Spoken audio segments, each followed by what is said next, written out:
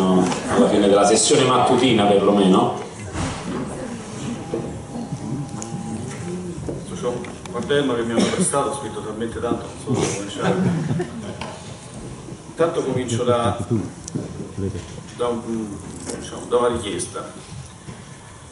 Oggi diciamo, la discussione ha coinvolto riflessioni sul welfare alla, a riflessioni su no, l'enorme incendio e sono tutti problemi che, so, che esistono e sono anche legati, sono anche legati uno all'altro. Se c'è disponibilità penso che ci sia. Io vorrei che queste discussioni riuscissimo a farle anche no, prendendo un pezzo per volta sapendo che sono collegati ma parlandone a fondo perché confesso che è una diciamo, una tentazione ma anche una difficoltà che ho in questo momento è che vorrei parlare di una quantità di cose diverse che ne sento la necessità, sento io la necessità del confronto come eh, mi pare che la sentiate voi e non credo di riuscire a farlo né, né, né in un tempo umano né in un modo ordinato per cui devo andare a pescare delle, delle cose allora, comincio da, da quelle più, più, pratiche, poi magari ne dico qualcuna un po', un po più di, di quadro. Eh, il tema della continuità è un tema questo. Il tema fischia lo stesso. Eh? Il tema, il tema, della continuità è eh, un, un, tema di cui so, sono, siamo perfettamente consapevoli ed è fondamentale. Tant'è che eh, nella, nella, fase che ha portato eh, alla diciamo, faticosa approvazione del bilancio del Comune di Roma, che comunque al di là di tutte le polemiche è stato il primo ad essere approvato dalle grandi città in Italia, uno dei temi eh, per l'accelerazione era esattamente quello di darci strumenti per avviare non in dodicesimi in gestione, ma con una continuità triennale le attività.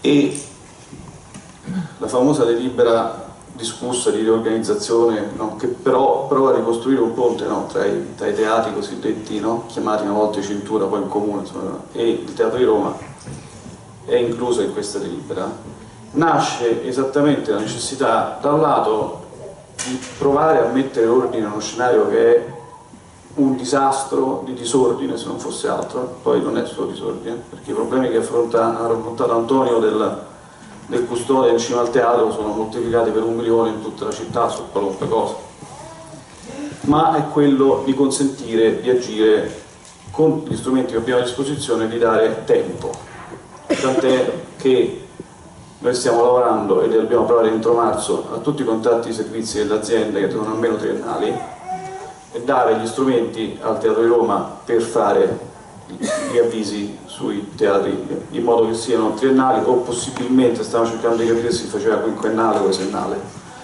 perché il problema non solo della legacy, cioè della continuità istituzionale ma il problema di un'attività culturale che non può svolgersi, in particolare con un rapporto con un territorio, che non può svolgersi con una programmazione è un problema fondamentale. Ora,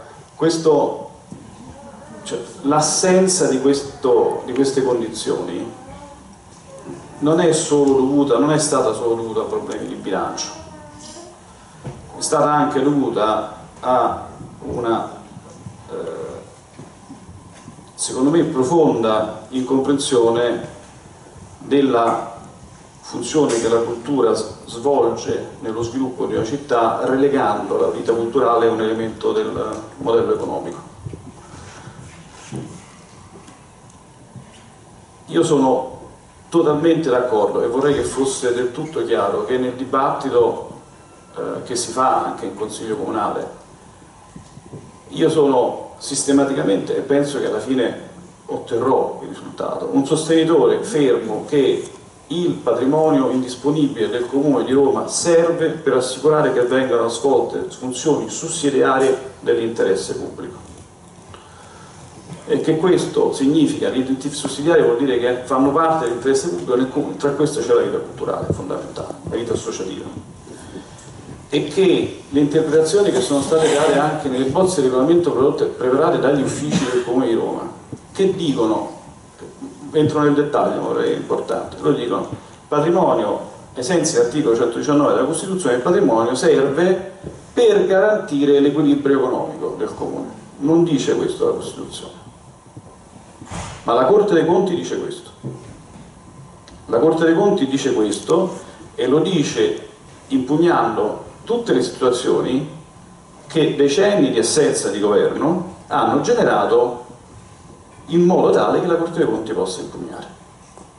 Il problema che esiste oggi no, su, eh, diciamo, fortissimo, no, di, di, anche di, insomma, è, è, un confronto, non, non è insomma, non è inerzia, è un confronto tira e molla ogni giorno con 70 soggetti diversi, è che l'assenza di un'interpretazione del patrimonio pubblico come strumento fondamentale di costruzione della trama sociale della città ha prodotto la gestione del patrimonio pubblico per relazioni più o meno informali o concessioni verbali o qualunque altra cosa che crea dei presupposti di illegittimità delle assegnazioni su cui agisce la magistratura. Qual è il problema? È che siccome in questo paese no, noi abbiamo fatto per decenni finta che non esistessero le norme, oppure ce ne abbiamo talmente tante che abbiamo interpretato a seconda del caso, siccome prima no, gli, organi, la, diciamo, la, gli organi preposti all'amministrazione giudiziaria non intervenivano sul corpo amministrativo, tutto si faceva. Adesso che cosa succede? Succede che la magistratura contabile emette or,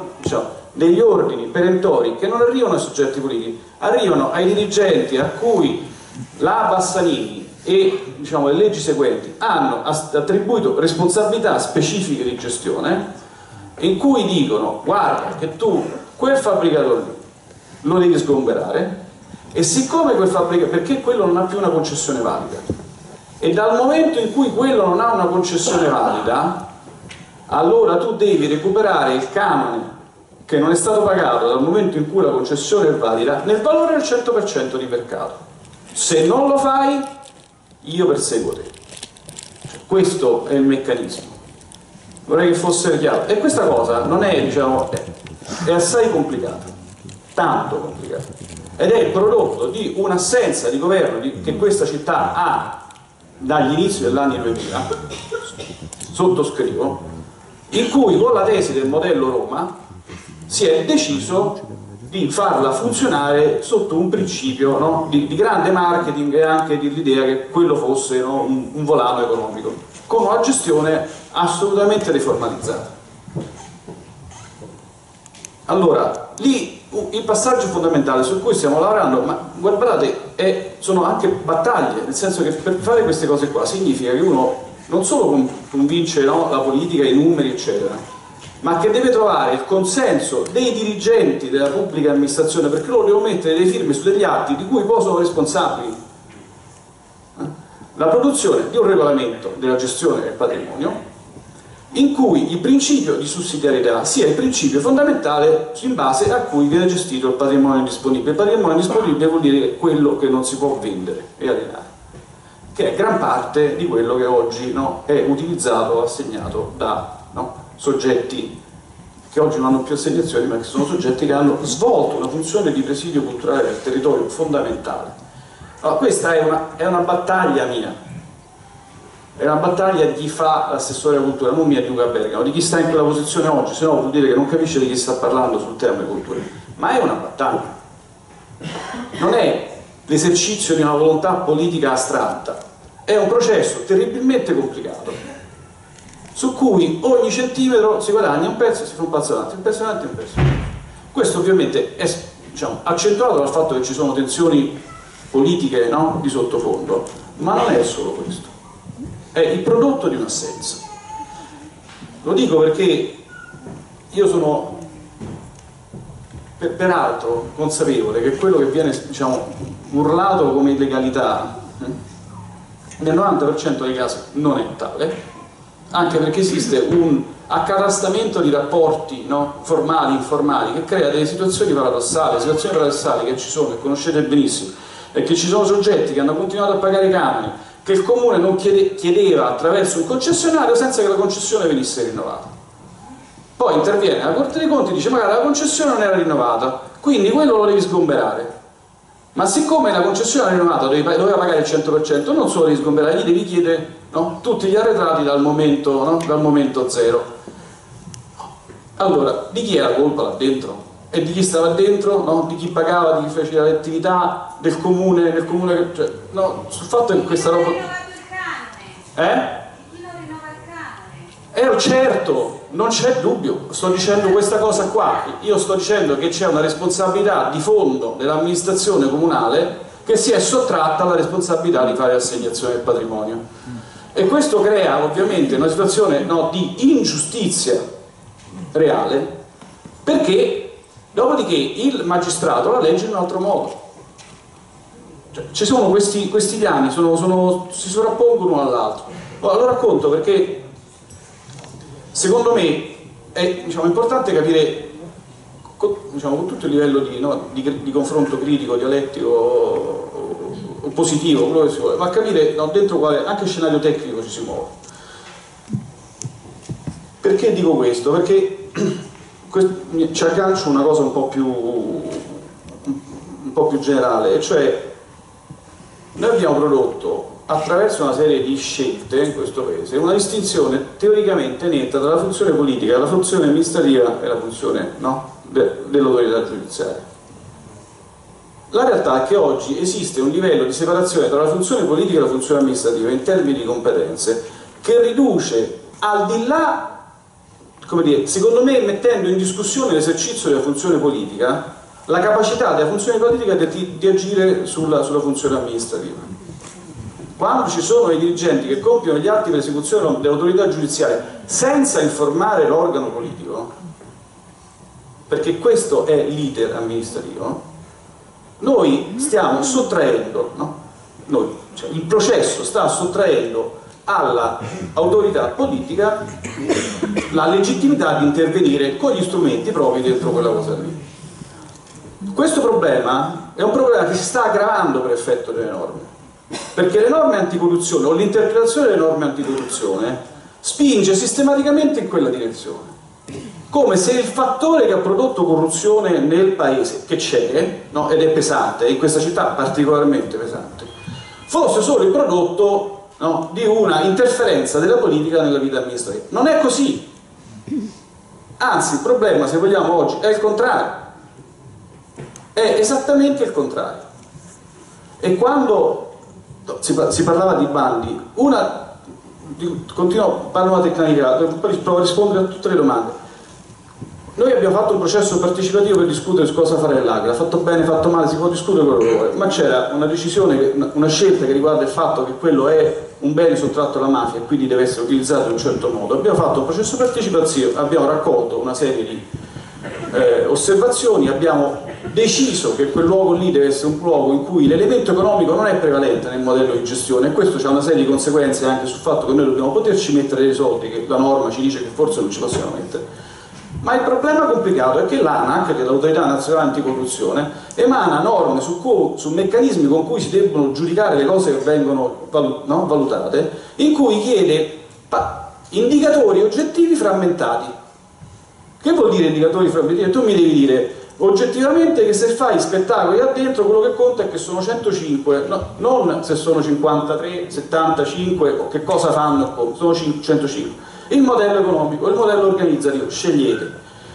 Quando noi dobbiamo invece costruire un rapporto di sussidiarietà, il tema non è la massimizzazione di ciascuno dei parametri, ma è la coerenza del progetto nel suo insieme. Perché io devo poter valutare, soggetto pubblico, se quella, quella, logica di programmazione, quel modello organizzativo, quel modello finanziario si reggono insieme e soprattutto se dico che il modello finanziario è subordinato al fatto che ci sia una dimensione sociale di apertura del posto, non posso essere costretto a giudicarlo in base al fatto che chi mi ha presentato il modello finanziario è migliore di quell'altro, perché se no non riesco a farlo. Allora, cioè, queste cose cascano, cascano nella cosa. Quando voi dite Panici, fuoco, ferro, eccetera, eccetera, non è fuoco e ferro, ma una voce politica che non è solo dei soggetti politici, ma è dei cittadini e degli intellettuali, che interviene su questi temi qui. In che modo Luca però? Eh, facendo, facendo, facendo, politica, la politica non è solo verso l'amministrazione, no? è rispetto a tanti soggetti, al, al Ministero, alla, nel dibattito pubblico, perché nel dibattito pubblico le cose vanno dette e difficilmente si riesce a dirle, scrivendo, parlando. Lo stiamo facendo qui insieme oggi, ma io sto qua, non ci stanno gli altri, io sì. Eh, ho capito, cioè, io ci sto, no? e, e, con tutta la responsabilità dell'esserci, del dire cose sgradevoli, convincenti, non convincenti.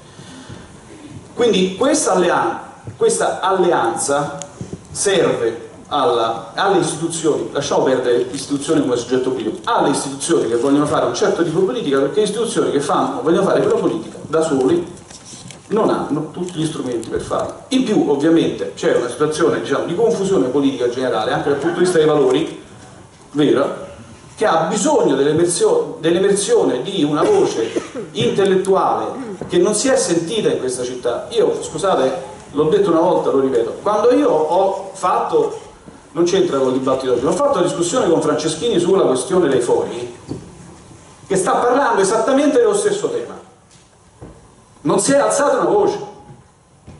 Non si è alzata una voce. Ha scritto Settis, ha scritto Tommaso Montanari, eh, forse Sergio Rizzo no, ci ha messo il suo, fine. Quella è una discussione che ha esattamente a che fare con... No? Perché il modello che Franceschini impone lì è un modello in cui l'elemento prevalente è la massimizzazione del profitto dall'uso dei beni culturali a città. Il modello di cui io discuto è che l'uso del patrimonio nella vita culturale della città è un elemento di arricchimento del capitale sociale e della, capacità, della capacità di sviluppo della città. Esatto. E chi cazzo ne parla di questa roba qua?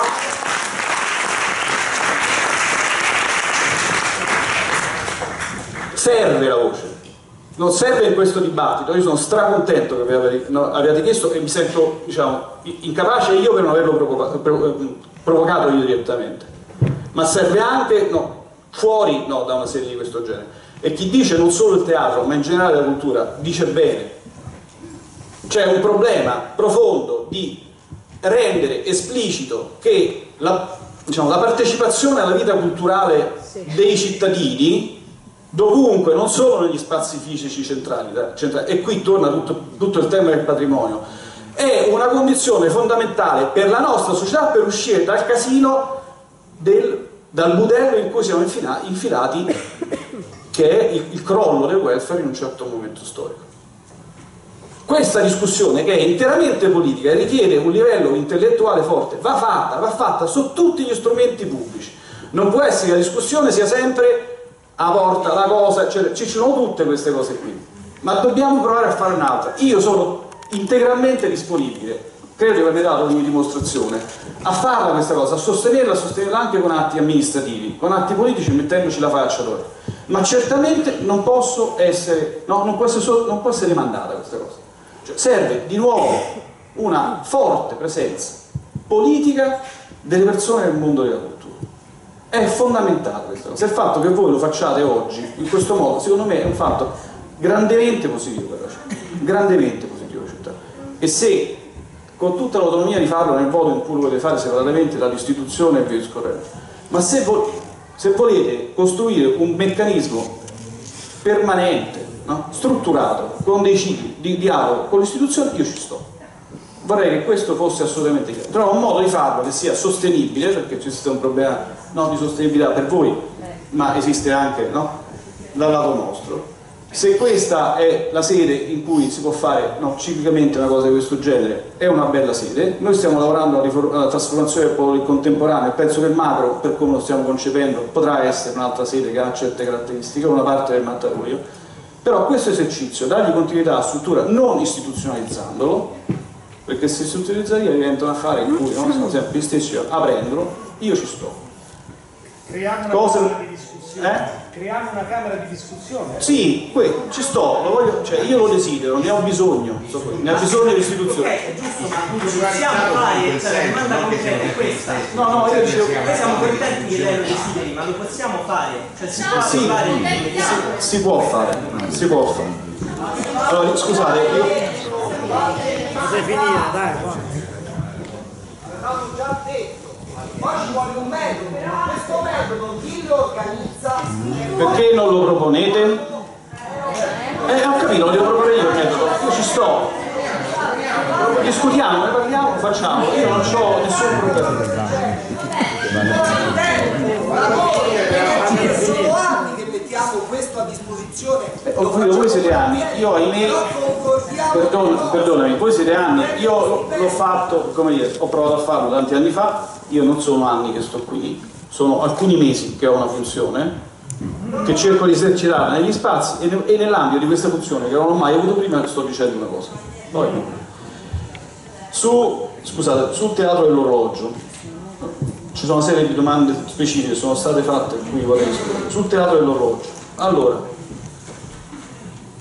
il teatro dell'orologio non andava chiuso. L'hanno chiuso i vigili del fuoco, mandando un'ispezione vigili del fuoco, questura e ispettorato del lavoro, perché ci sta evidentemente una accelerazione dell'attenzione da parte delle istituzioni di vigilanza nei confronti no, de- de- de- degli spazi. Non ritengo che l'interpretazione data all'uso del patrimonio dagli uffici del Comune di Roma sia del tutto estranea a questa cosa qui. Non la posso neanche provare al contrario. Però certamente il fenomeno c'è. Dopodiché qual è il problema? È che stante le norme vigenti, e sono norme cervellotiche, quindi c'è un altro livello di discussione, il teatro dell'orologio non ha le condizioni di sicurezza norme di legge, non è illegale, no? C'è perfettamente ragione, non ha le condizioni. Quindi quell'autorità lì che è preposta a dire se ci sono le condizioni di sicurezza, ti dice non ci sono le condizioni di sicurezza e ci mette un sigillo. Che cosa facciamo noi? Abbiamo cominciato a lavorarci prima su altri, su altri problemi no, di funzionamento del teatro dell'orologio che no, eh, con, con Emiliano abbiamo cercato di risolvere sminando cose. Adesso noi abbiamo chiesto alla sovrintendenza di Stato di lavorare con noi e con il teatro dell'orologio per capire in che modo la sovrintendenza di Stato, perché quello è un bene vincolato, perché sta, cioè, no, sta sotto l'oratore Filippini Borromini e ci sta un pezzo di una scala che è sottoposto a vincoli, fare in modo che il progetto di messa a norma delle uscite di sicurezza sia approvato dalla sovrintendenza di Stato. La sovrintendenza di Stato dice a me non mi hanno mai mandato un progetto, dice sbagli. Non è vero? Lo so, ti sto dicendo quello che dicono, non sto dicendo. Però nulla che noi potessimo approvare. No, Noi questo lo stiamo facendo. Calvi ha dato una disponibilità temporanea, noi stiamo cercando di trovare una soluzione per, continu- per far continuare l'attività. E allo stesso tempo c'è stata una riunione l'altro ieri nei miei uffici in cui abbiamo fatto venire sovrintendenza di Stato per parlare di questa, ro- no, di questa roba qui. So- però sono tutte così, sono centinaia, così, in assenza di un quadro, no, di un, di un quadro entro cui muoversi.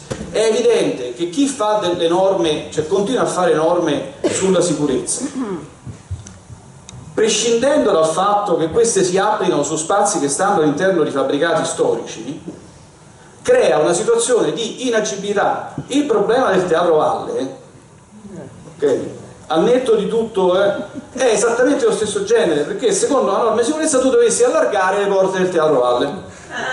E ma è così. E la sovrintendenza ti dice no, le porte del Teatro Valle me le può allargare. Stai scherzando, quello è un bene del 1700, che faccio? Tolgo le porte.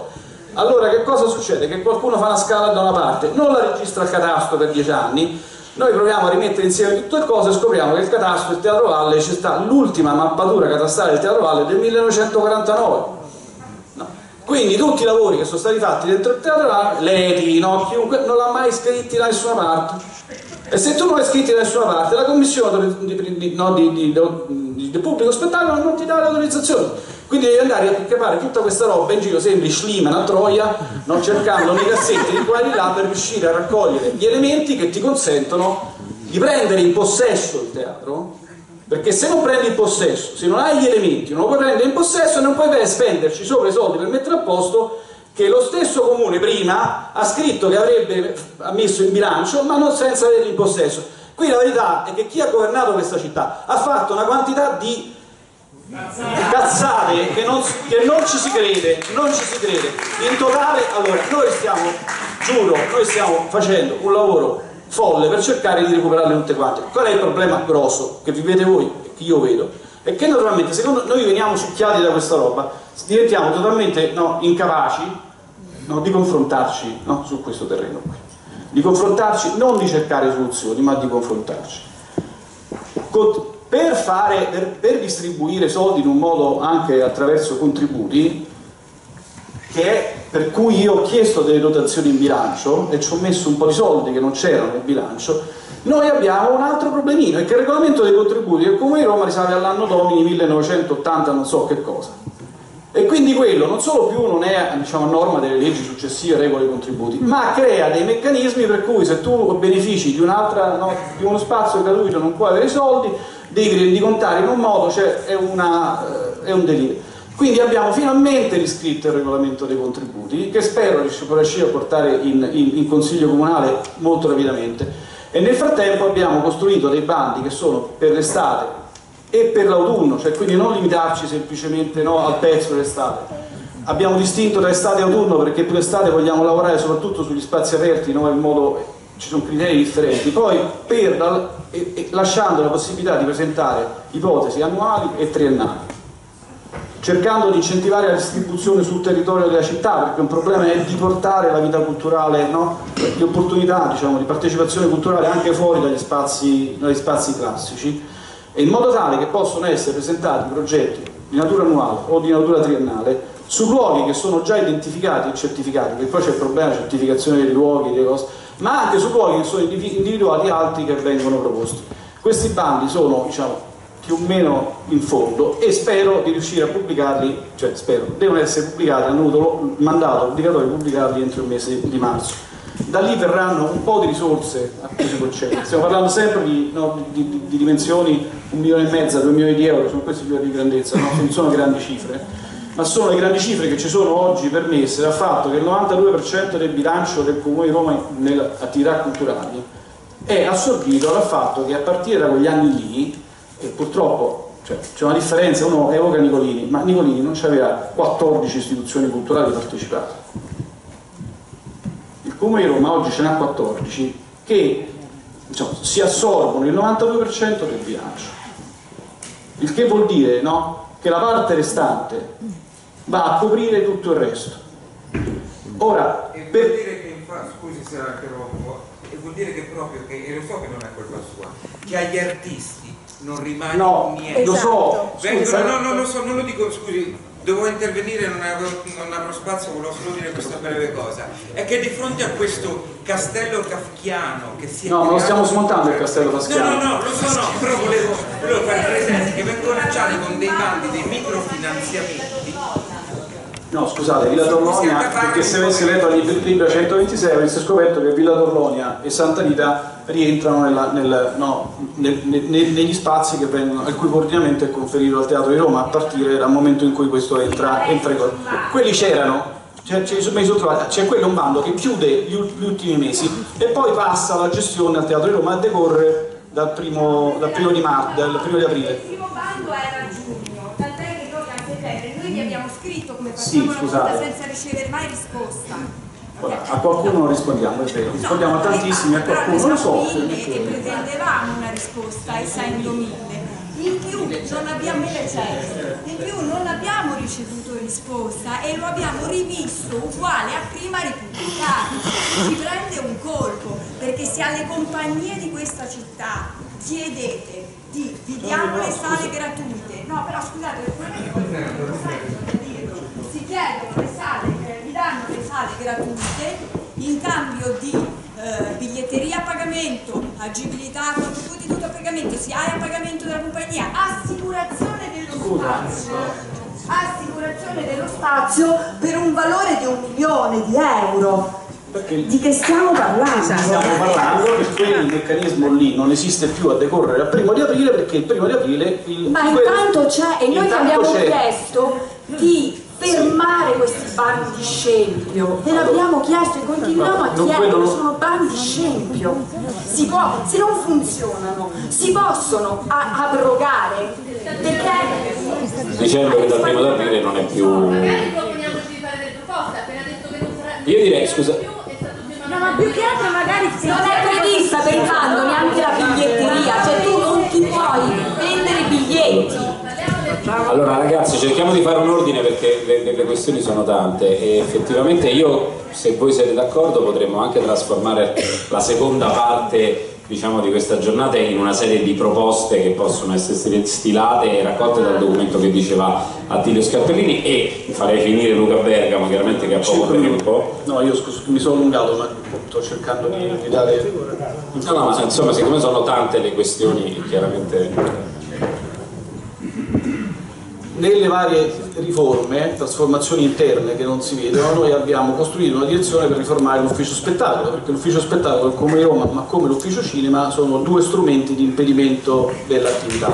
Questa cosa qui è in corso, co- è stato insegnato, inserita un'unità organizzativa con un dirigente per fare questo coso. C'è un obiettivo per completare questa trasformazione entro la metà del semestre, del secondo semestre ci sono passaggi, sono lenti, infinitamente lenti, ma questa è una lentezza che sta dentro l'amministrazione comunale. Io diciamo, inviterei veramente chiunque a, diciamo, a passare tre giorni là dentro, no? forse tre giorni non bastano, no, eh, perché le agevolazioni fiscali, che sono un tema, un tema vero, segnalo che quest'anno eh, c'è stata una discussione in cui io diciamo, sono risultato perdente, ne- diciamo, ma per ragioni di fretta nell'approvazione della proposta di bilancio.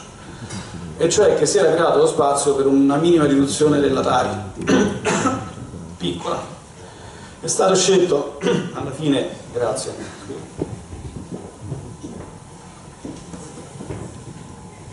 è stata scelta alla fine di fare una redistribuzione erga omnes invece di fare come proponevo io su diciamo, attività di pubblico spettacolo e librerie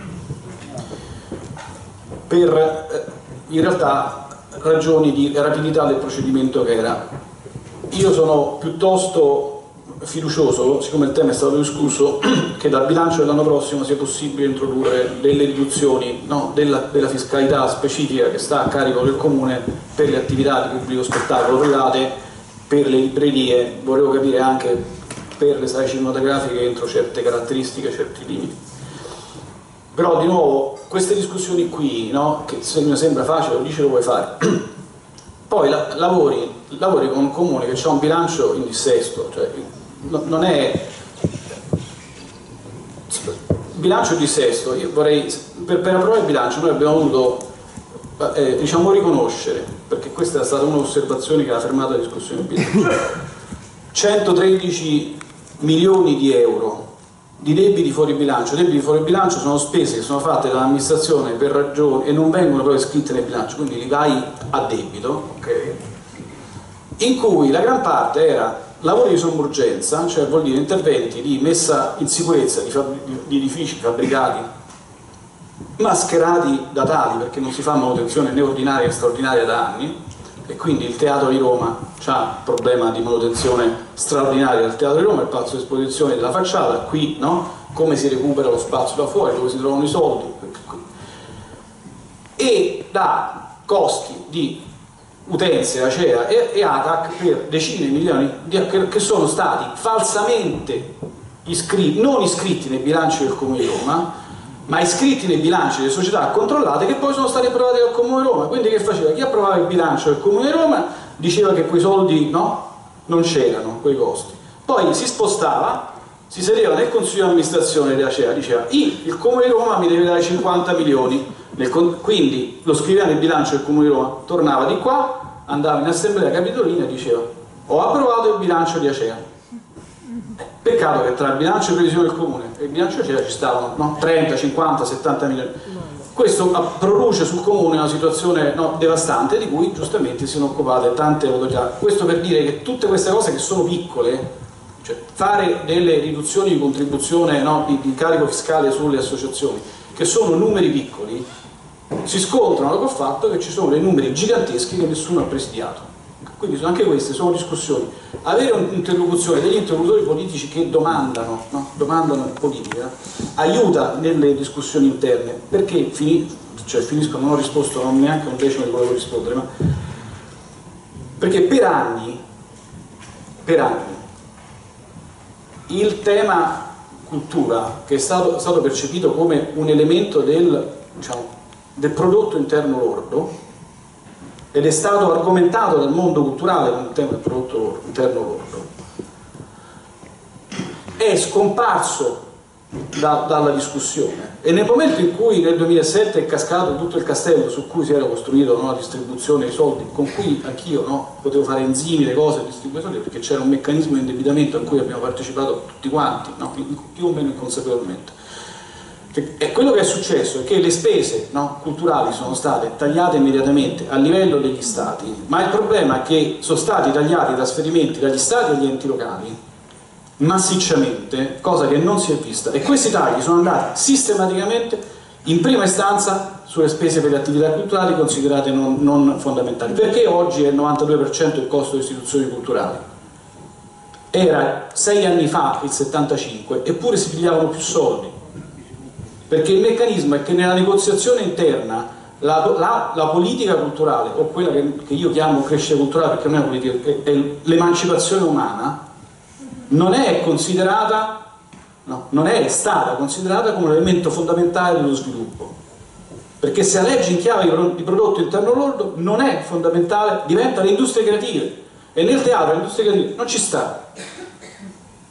L'intero settore culturale si è agganciato a questa roba delle industrie culturali e creative no? per dimostrare che era capace e si è fatto un autogol stratosferico perché ha cancellato la dimensione sociale della partecipazione alla vita culturale.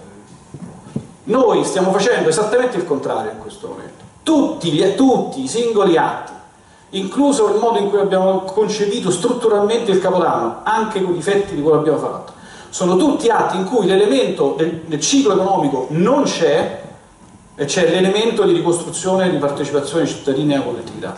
Quello che stiamo facendo è gravemente insufficiente rispetto alla realtà, è gravemente insufficiente. Ma è la prima volta che in questa città ci si prova a farlo in questa chiave, dai tempi di Nicolini, ma in una società che è completamente diversa da quella, da quella di quella. Questa no, cioè, leggere i singoli passi con tutte le carenze, perché diciamo tutte le carenze che voi, tutte, non tutte, molte delle carenze che voi avete segnalato ci stanno, ma stanno dentro questo tragitto. E per colmare quelle carenze noi abbiamo, io personalmente e non chi amministra con me, abbiamo bisogno di una interlocuzione forte, politica, anzi della, della cultura con la politica, ma su un terreno il più alto possibile. Scusate la lunghezza. Allora, vediamo chi vuole intervenire, sicuro, io direi raccogliamo, raccogliamo questo, anche la provocazione che ha fatto Luca Bergamo rispetto agli intellettuali di portare il discorso a un piano più alto e, e, e di portarlo anche a un piano comunicativo, però direi che poi l'istituzione comunale deve anche cercare non soltanto di dialogare ma di portare questo discorso a un piano nazionale perché se il comune non eh, agisce in questo senso, Luca permettimi se, se, faccio questo, noi possiamo anche rivederci tra tre mesi, noi stessi, noi quattro possiamo prenderci la responsabilità di eh, segnare le domande e gli interrogativi che questa assemblea continuerà a fare nel pomeriggio e consegnarle all'istituzione comunale, però poi l'istituzione comunale dovrà a sua volta, e penso dovremmo farlo insieme, portare questo dibattito a livello nazionale, perché se non portiamo il dibattito a livello nazionale non andiamo da nessuna parte.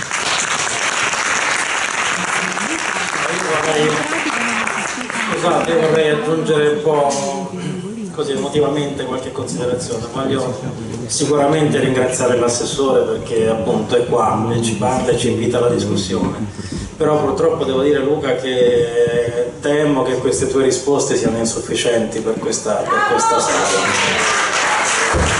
Mi spiace doverlo dire, mi spiace dover fare questa parte, eh, ma credo che capiamo benissimo e devo dirti siamo con te, siamo con te in, questa, in quello che stai facendo e possiamo essere ancora di più con te, e, però forse i problemi sono più urgenti e più seri per ciascuno di, eh, di noi, tutti quelli che sono seduti qui in questa sala. Non so quante domande ulteriori potranno farti, perché poi le domande lasciano il tempo che trovano, però credo che veramente questo tavolo sia di discussione che tu proponi e che noi accettiamo tutti noi, ma sia urgente, deve essere concreto, fattivo, immediato rigoroso e, e, deve avere delle risposte. Perché purtroppo sai eh, tu, tu, vieni da questo mondo lo conosci l'hai, visto l'hai frequentato. Purtroppo tante volte la politica è venuta in queste assemblee a fare promesse a fare considerazioni a spiegarci il grande labirinto che c'è sopra la nostra testa eh, però noi questo labirinto lo possiamo anche percorrere e affrontare. Non so come dobbiamo trovare uno strumento, possiamo farlo oggi pomeriggio, come diceva Graziano, possiamo veramente concretizzare qualcosa. Ma penso che questa tua disponibilità debba essere fattiva, immediata, concreta e reale. E reale. Se metti in discussione la realtà io mazzo me ne vado. No, no, no, non metto in discussione no, nulla, non metto in discussione, proprio, metto in discussione il labirinto, il labirinto della burocrazia, della politica e dell'amministrazione che ci hai tratteggiato ma appunto se, se, le cose sono così non è detto che non cambino, tu stai provando a cambiarle, noi siamo con te in questa cosa, siamo convinti che tu stia agendo per il meglio, però forse servono risposte eh, immediate anche da parte di questa assemblea, che non deve avere paura di fare domande, che non deve avere paura di, di esporsi altrettanto, come ti stai esponendo tu. Posso dire una cosa, non so da un punto di vista insomma, di struttura, non so se l'assessore, se Luca Bergamo sta effettivamente andando via, se non è così io proporrei di ehm, mandare un po' avanti la pausa e invece continuare un po' a discutere se c'è qualcuno per... Assolutamente sì. Eh, sì, abbiamo diciamo